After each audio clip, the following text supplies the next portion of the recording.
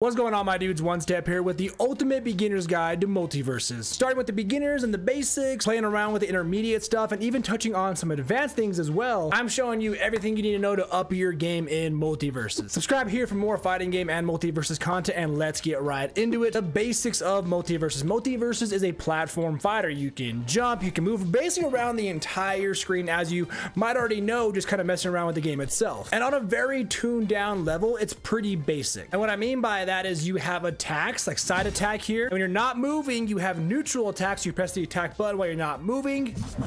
You have down attack, meaning you're gonna do an attack that's separate when you're holding down.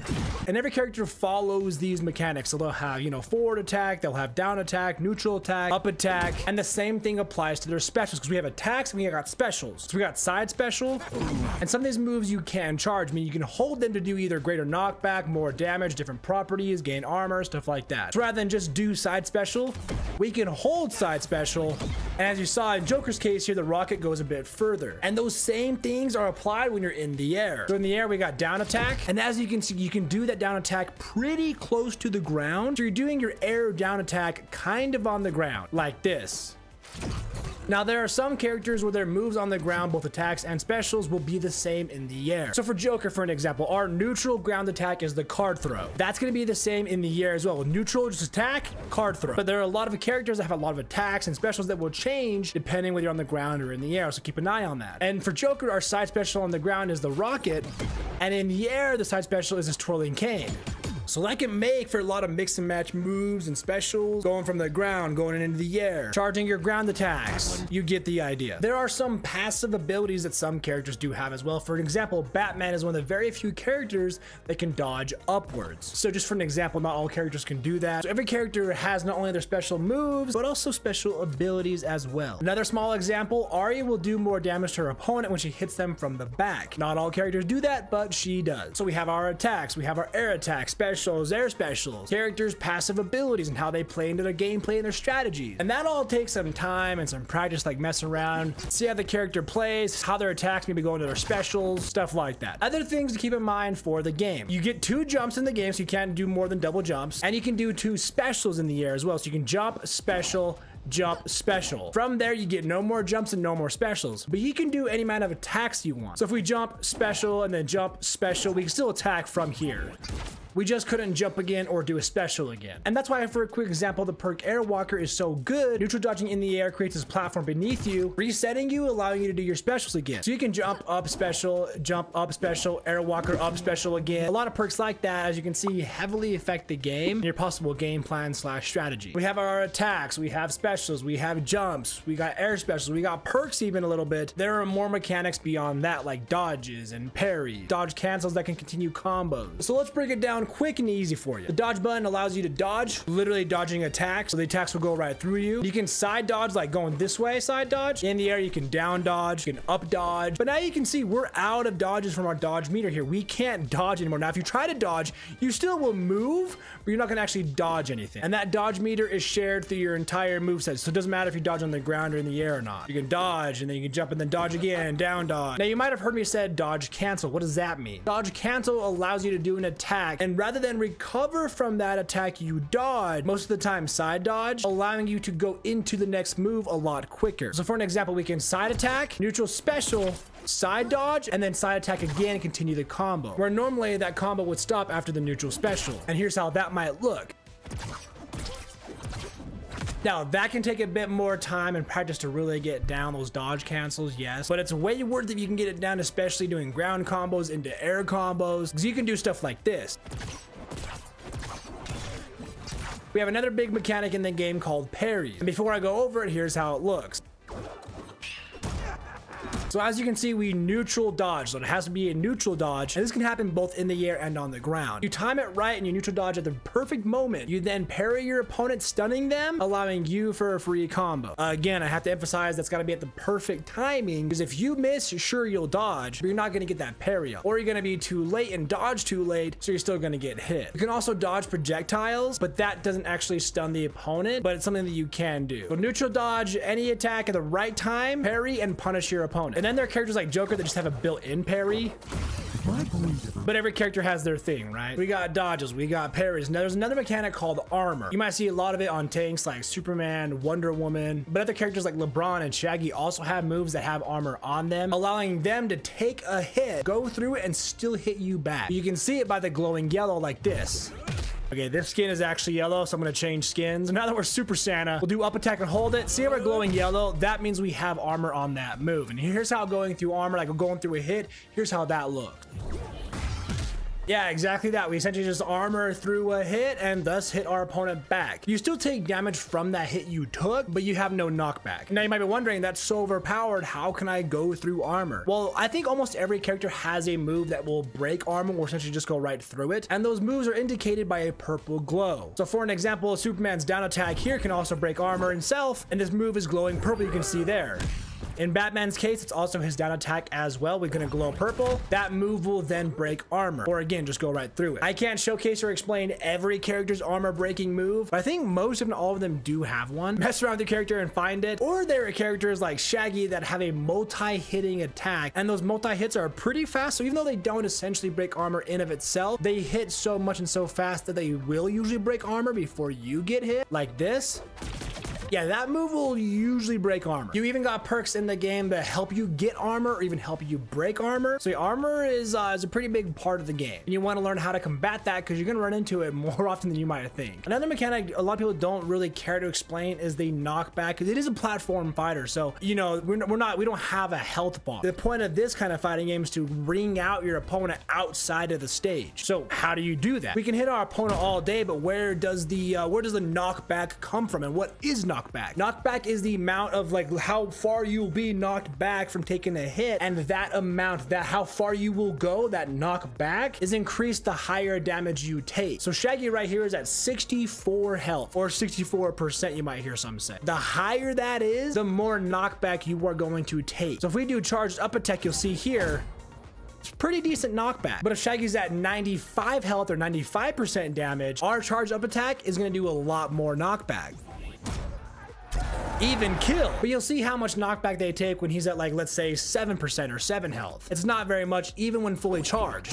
So the point of this whole platform fighter is to attack and hit your opponent as much as you can, get their health as high as you can so they take more knockback to then ring them out. And there are perks that decrease knockback or increase knockback. There are mechanics like weaken that also increase the knockback your opponent takes. And I feel like a lot of beginners, a lot of new players are kind of confused by that concept of like, wait, where's my health bar? I'm used to like, you know, a Street Fighter, a Mortal Kombat. This is just how platform fighters typically work. So we've gone through a lot of the basics, a lot of the uh, how to play the game, or like what's in the game, what to be aware of. But how do you play? How do you fight? How do you do combos, for an example? Well, a lot of characters will have a three or higher hit attack combo by simply just holding side and doing attack. So for Joker here, we can just hold sideways and then just do attack three times. And a lot of characters have a combo like that, but how can you do more? Well, you can go side attack, side attack, and then do maybe another attack like an up attack or a down attack, or maybe like a side special. So side attack, side attack, side special, and that goes together. Or side attack, side attack, up attack.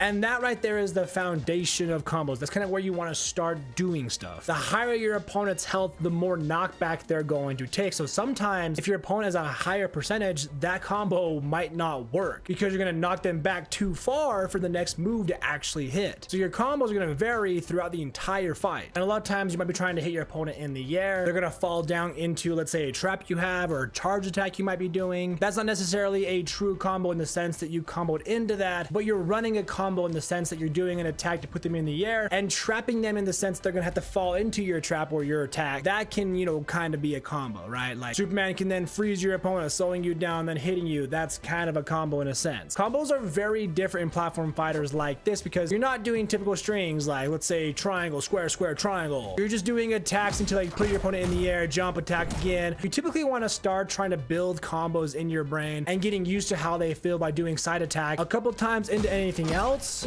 seeing what has really good kill power, what goes together really well, maybe what goes together no matter what percentage your opponent is at. Like our opponent right now is at 100 health and our side attack twice into side special still connects. Whereas sometimes some characters, their side attack and their side special might not always connect if their opponent is too high of a percentage. Now let's talk about one of the most unique things about MultiVersus. It is duos and solos. MultiVersus is a platform fighter that's kind of built around duos or 2v2. And how we know that's because a lot of characters, if not all of them, have either one move or more that benefit an ally. So I'm playing Joker right here. I'm fighting Shaggy, right? My game plan is gonna be very different fighting just one opponent having no ally, just doing this 1v1 fight. And if I'm playing 2v2s and I have an ally to worry about and I have two opponents, there are some characters that perform this better in my opinion. Like Steven here is a great 2v2 character. He's awesome in 1v1, sure. But for an example, he can have this block here. And as you see, he blocks for his ally as well. So if they're just getting pummeled, he can just block for them in an instant. And that's a huge ally perk. So there's some characters that have really good perks for allies, thus being a good character for 2v2s, whereas some might be more focused on just doing solo attacks, solo fights. Nothing wrong with that. They're just characters you might want to be aware of, like, okay, yeah, they're really good in duos. That doesn't mean they're bad in 1v1s or solos. They just have things that really benefit an ally. One thing about any fighting game that people really struggle with is finding a main character. Who do they mainly want to play? Who fits their playstyle? Who do they like playing as? And I can't tell you who to main, I can't tell you who to fight, but what I can tell you is MultiVersus has a kind of uh, class system. So Shaggy here is a bruiser and Superman is a tank. Arya is an assassin and Joker's a mage. So we have different classes and, every character has their moves and make them special, yes. But the classes do kind of dictate around that. Like because Superman is a tank, he can hit harder. He's a bit slower, sure, but he can hit harder and take more hits, especially compared to assassins like Marvin. Personally, I'd recommend having a main uh, from at least two or more classes. Like my mage main is Joker. My bruiser main is Batman. My tank is Superman and my assassin is Arya. Now I'm not saying you have to do this, but it does help you find a couple other characters that you might actually end up enjoying that you never thought you would had you not tried them in the first place. I hate to say it, but the key to finding a main is playing as many characters as possible or just like clicking with the character themselves. Like I love Batman. I love Batman. This whole wall is like for DC and video games. So I already love DC anyways. So I just love the character Batman. So I really wanted to play Batman. And that made me enjoying his move set a lot better. There are a lot of people that really just grew up loving the Gremlins. So they automatically just love Gizmo. So start there. You know, what characters do you already enjoy? Mess around with them. If you don't like their playstyle, try some other characters. Definitely find at least one main, if not a couple, because every character has their weakness. And if you're fighting a character that is really going against your weakness, you kind you probably need to switch it up a little bit. So I recommend having at least two or three mains. If you can find them in different classes, even better. Not only do we have other fighters in different classes, but we also have different perks that go for other characters. Like every character has their signature perks that can change the way they play. And we have other perks that can, again, you know, give you armor or help you break armor, help you do more damage, or maybe ignite your opponent, and do fire damage to them so they take damage over time. Airwalker that spawns platform for you. You get the idea. There are a ton of perks that can help other characters that might not have helped this character. So we got characters, we got classes, now we got perks, and of course signature perks. And that can also just change the game. That can change the character. That will change the fight. Now, how do you decide which ones to use? Well, first of all, I got guides on all of that, and I'm sure a lot of other YouTubers do. But just think about how do you play. So you want to play with the character for a little bit first, and then think, oh, okay, I'm hitting my opponent a lot with my melee attacks. And I have some projectiles that I use my kit as well. So that's Flammable Dock as a perk might be good for you because it says here your team can melee an enemy after hitting them with a projectile to ignite them. Now, this is only useful if your your opponent, or, you know, you, sorry, or your ally has a projectile. Like if you're playing Jake, for an example, who's got no projectile, this might be a useless perk for you because you need to hit them with a projectile first, then melee hit them, and Jake has no projectiles to hit them with in the first place. But if you're playing like Tom and Jerry or even Joker that has projectiles and then going into their face and hitting them, this could be a great perk for that kind of playstyle. Or if you're in the air a lot and you want to be able to refresh your air specials, then Airwalker is a great way to do so. Or let's say you want to just counterplay. So if you're fighting a Superman or, or a Wonder Woman that just happens to use a lot of armored moves, Armor Killer here says hitting an armored enemy will briefly stop them from using armor. This is a great counterplay to uh, armor heavy characters. Superman, Wonder Woman, even Iron Giant has some. Hit them while they're using an armored move and then that briefly stops them from using armor. So it could be for the way you want to play or for counterplay. Mess around with your character, mess around with these perks and just kind of feel which ones fit your playstyle best. Also another thing people don't really talk about is their controller settings. I changed my controller settings personally. So I'm on PlayStation and I made my attack button the circle button. A lot of people don't do that. I did. My specials are my X button and my jump is my triangle. I know I play a little bit weird, but that's just how I want to play. Don't be afraid to mess with these settings and feel like, okay, I want, for some reason, my thumb wants to go press triangle to jump. Go ahead and make that your jump button. That's totally fine. To be fair, you can also change the user interface of the game as well if that helps you and like you know less distractions like i put all the characters faces their icons and their banners and their health beneath the saw rather than on top of the screen personally for me it's less distraction for me in the middle of the fight having those up there. When i'm up there juggling my opponent a lot they're just not in my way. I like the outline on my character off. It's kind of uh i just personally like the way it looks better. So mess around with this. This will help the gameplay experience just that much better for you. So we have our attacks. We have our specials. We have air attacks. We have air specials. We have a limited amount of jumps and a limited amount of air specials. We got dodges. We got armor. We got parries. We got how to do combos. We got what does knockback even mean? Keep a game plan and strategy in mind for playing solos versus duos. Where to start with combos. Where to start with finding a main how to pick your perks mess around with your controller settings mess around with your ui settings. So many things to go over and encompass the basics of this game. But doing all of these things and practicing them getting very familiar with them will of course up your game in MultiVersus and make you a better player overall. If you found this video helpful even a little bit make sure and give it a thumbs up and subscribe here for more content because we have new videos twice a week and we stream at least twice a week. Let me know down below who is your main in MultiVersus and why did you choose them. Take it one step at a time and go ahead and click into these videos next for more MultiVersus news guides tutorials and more